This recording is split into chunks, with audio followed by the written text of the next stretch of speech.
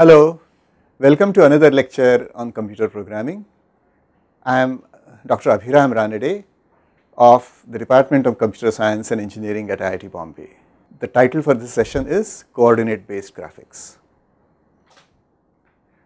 Here is a very quick recap of the last lecture.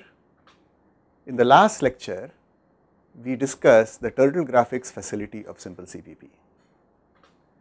In this session, we will discuss the coordinate based graphics which will allow you to do more interesting things.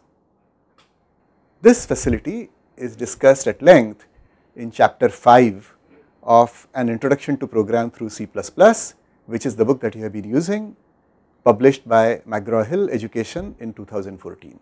Some part of this also comes from section 15.2.3 of the book.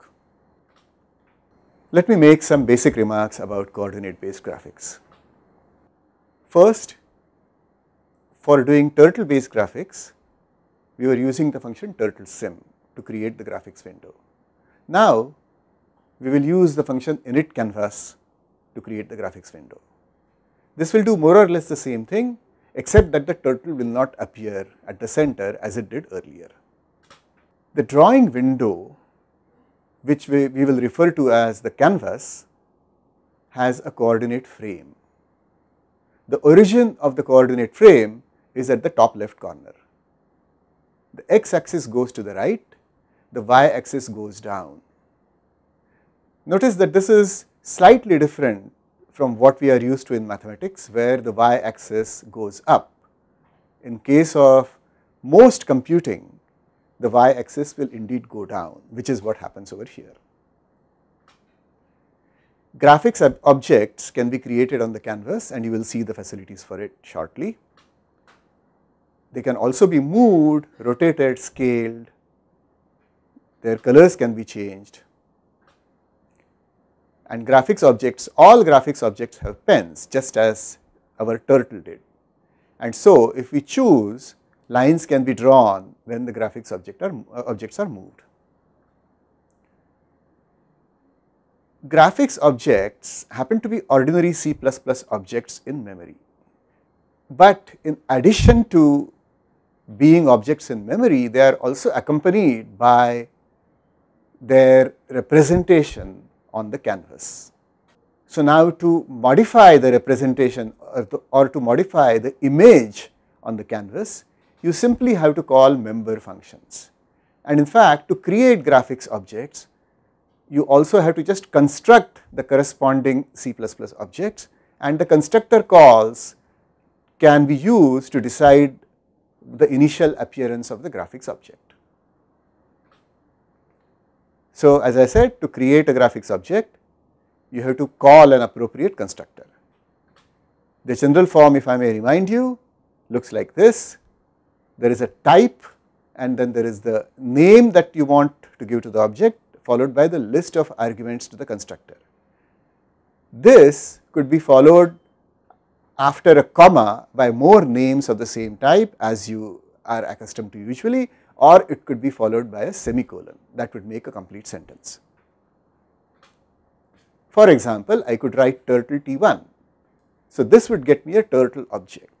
In turtle sim also you got a turtle object, but now I can have several turtles if I like. So, I could write turtle t1 t comma t2 comma t3 semicolon. So, that would give me 3 turtles. How I how I will command each of the turtles is by calling member functions which we will see in a minute. So, this as I said creates a turtle which is named t1 and it appears at the same place as before. It appears on the canvas at the center and it points right. Here is a command or here is a constructor call uh, an object using which you can create circles. So, the type of the object is circle and this command will create an object C1 object named C1 centered at Cx Cy and having radius r. You can also create rectangles. This is how you do it. This will create a rectangle named R centered at CXCY and having width w and height h. You can create lines and this is how. This will create a line named L1 and the line goes from x1 y1 to x2 y2 and these coordinates all these coordinates in fact are given with respect to the origin let me remind you and the origin at the top left corner of the canvas. This command allows you to write on the screen. So, whatever is going to be written is the content. So, here for example, you can place uh, a quoted character string or you can put a pointer to a char array and this text will appear with xy, the point xy as the center. So, this text will appear on the screen, but it will be centered uh, at the point xy. I might also use it use word screen, but I mean the canvas. You can also draw arbitrarily arbitrary sided polygons. So, this command creates a polygon P having n sides or n vertices. The array coords is a double uh, is a double array uh, array of doubles with 2 rows and n columns. Each column specifies the coordinates of the vertices of the polygon. And remember the coordinates are to given relative to Cx, Cy.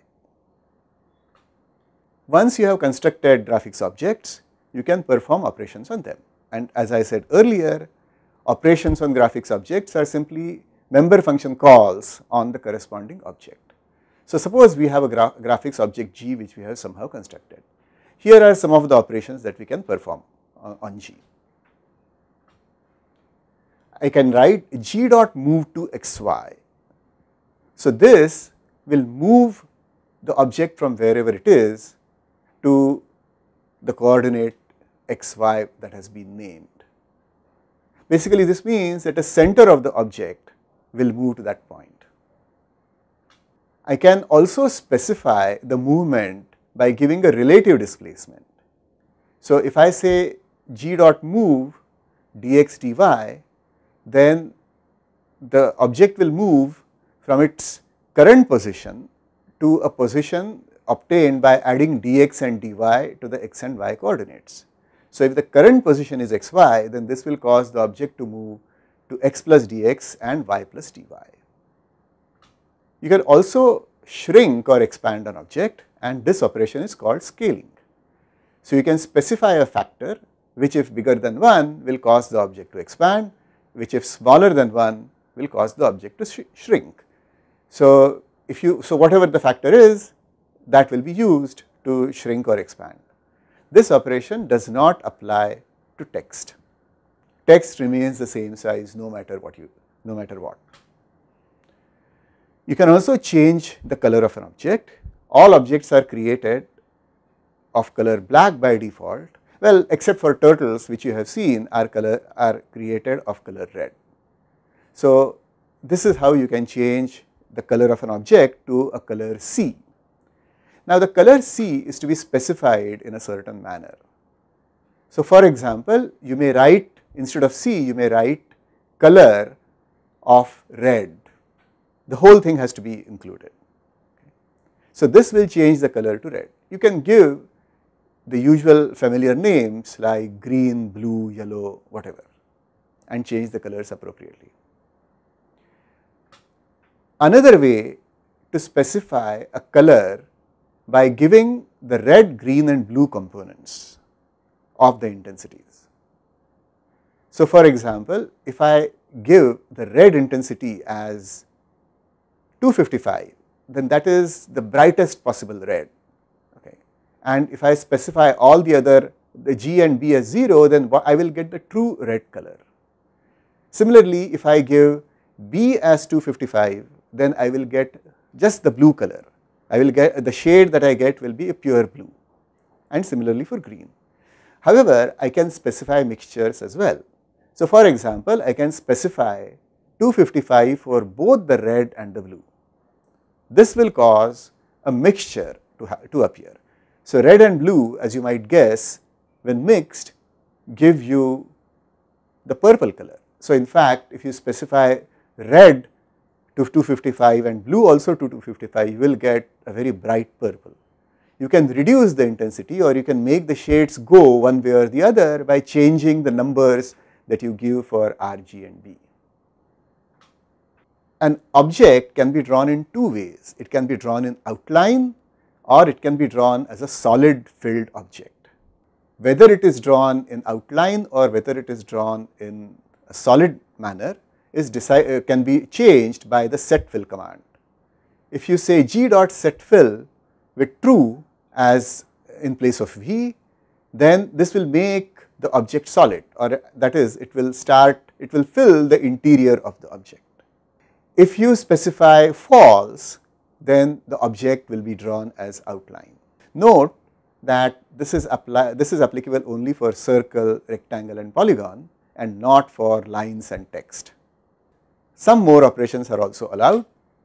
For example, you can hide an object. So, this is done by the member function hide. You can also show an object once it has been hidden. So, if it was hidden earlier, then if you say show, then that will make G visible. If it was already visible, then this command will do nothing. Left, right, forward are available as member functions. Actually, pen up and pen down are also available, available as member functions. One more rotation command is given and this is rotate. So, I can write g dot rotate of A and this rotates clockwise and unlike left and right which expect an argument which is in degrees, rotate expects an argument which is in radians. Once you have drawn an object and you have moved it around or rotated it, its position will change, its x coordinates will change, its orientation will change, its scaling factor will change. You could keep track of all these things yourself, but simple CPP allows you to query an object and get its x coordinate, current x coordinate that is. This can be done by g dot get x which returns the value of the current x coordinate. Similarly, g dot get y returns the value of the current y coordinate. g dot get orientation gives you the angle in radians starting from measured from the x axis going clockwise. So, this value tells you by how much you have rotated that object or in other words in what direction is it pointing now. g dot get scale tells you the current scale of g. So, suppose you have scaled up the object by a factor of 2 and then scaled it up again by a factor of 3 and then if you call g dot get scale then 6 will be returned. So, this way you can you can ask the object what its current parameters are and perhaps based on that you can take action. Here is an interesting function provided. You can write g dot imprint without any arguments and basically this causes an image of G to be drawn at the current position, orientation and scale. This image will be permanently drawn on the can canvas just as the turtle draws lines. This image will persist even if G moves. So, you can sort of stamp that object at several places and the object can of course keep moving and do more and do more stamping or create more images if you wish. G dot reset is a command which allows you to reinitialize G. So, whatever argument list was acceptable at the time of creation can be supplied over here and the corresponding object, the, the named object will get reset. I should point out that rotation and scaling cannot be performed on text. Now, we will use some of the features, some of the facilities that I have described and write a program which does something just for fun. Okay. So, it will show you a rectangle being tossed up and in fact, the rectangle will be spinning as we toss it up. And furthermore, we will also change its color as it moves. Okay. So, here is the program. So, as you can see, we begin by creating the canvas, then we are going to create our rectangle. The rectangle is going to be created at coordinates 0, 300 and it is going to be 30 pixels wide and 20 pixels tall. Here are two variables which we will use for specifying the color. So, initially we will make it a pure red and the blue coordinate will be 0. The green part we will keep 0 throughout, so we do not have a variable for it. When we call r dot set fill, we are saying that the rectangle should not draw, be drawn in outline, but instead it should be drawn full. Then here are two more variables Vx which gives the velocity of the rectangle in the x direction. So, we are saying that in a single time step okay, the rectangle will move 3 pixels to the right. We have specified Vy as minus 4. Remember that the y axis is actually going downwards. So, when I specify the y velocity to be negative, actually the, the projectile or the rectangle is moving upwards by 4 pixels in every step. And then we will also have an acceleration. So, the acceleration is going to mimic the effect of gravity and therefore, we have made it positive. So, positive means in fact that it will go in the direction of the y axis. So, it, it will cause the rectangle to be dragged downwards. So, the velocity of the rectangle will, will keep on increasing. So, instead of being negative it will eventually become positive and at that point the rectangle will start going downwards. This is really very similar to what happens when you throw a ball. So, the ball has a certain vertical velocity and possibly a certain horizontal velocity. The horizontal velocity does not change, but the vertical velocity keeps decreasing as the ball moves. So, that is what we are going to mimic. This is what happens in the loop. We are going to do 200 steps in which we in which we are going to have our rectangle move and have its velocity change to mimic the effect of gravity. First we are going to wait for 0.5 0.05 seconds. As I said if we do not do the waiting then the com computers are so fast that they will draw the whole thing very quickly and we will not get to see any animation, we will not, we will only see the final state. This way we will see everything as it moves. Now we are going to simulate the effect of movement. So if you remember r dot move tells you tells r to move relatively by the argument. So whatever the current velocities are, r our rectangle will move by that much. Here is an interesting point. In each step we will turn our rectangle by 10 degrees. So, this is exactly like turning our turtle except that this is this is a rectangle a named rectangle and right now is being used as a member function. So, r dot right will turn our rectangle r by 10 degrees. Notice that r dot move is immediately followed by right. So, you will essentially see the effect of both of these things simultaneously. Then we are going to prepare for the next step. In the next step, we want the velocity to change. How much do we want it to change? Well, the acceleration is g or the gravitational acceleration as we are calling it. So, we want that to be added. So, originally vertical the uh, vertical velocity was Vy which was minus 4, but after this step it will become minus 3.95 we also want our object to change colors. So, we will change the red component, we want the red component to go down. So, everything is being measured modulo 256. The red value is taken whatever the number is, its, its value modulo 256 is taken. We want it to reduce, so a simple way of doing it is to add 254 which is equivalent to reducing it by minus 2.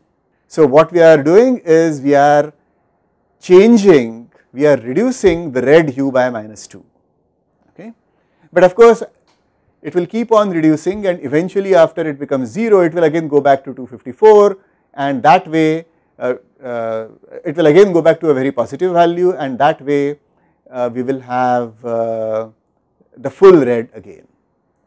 The blue value on the other hand, we are increasing. Remember it started at, uh, at 0. So, this will make the object slightly bluer and slightly less red as time goes on and to do that we have to set the color to this to these new values. So, this will happen 200 step. So, in this case you should see the object sort of starts somewhere over here go up and then come down and uh, at the end of it we will wait 5 just to see what is going on okay what the final picture is. So, let us compile and run it.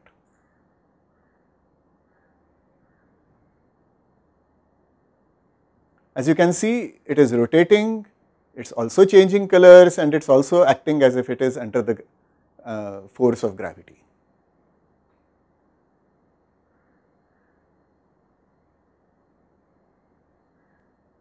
So, we come to the end of this session. Let me summarize what we have done. We discussed coordinate graphics, coordinate based graphics as supported in simple CPP.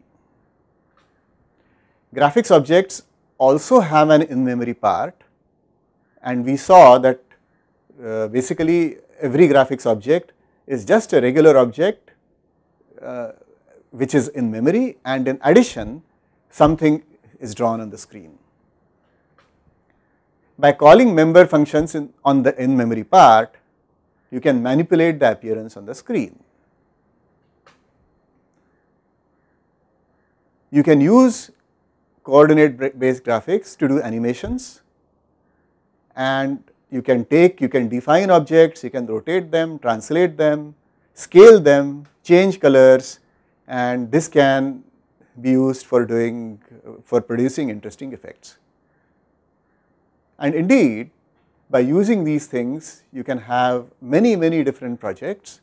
You can have objects uh, which change colors, possibly objects which collide, Okay. you just have to let your imagination go loose.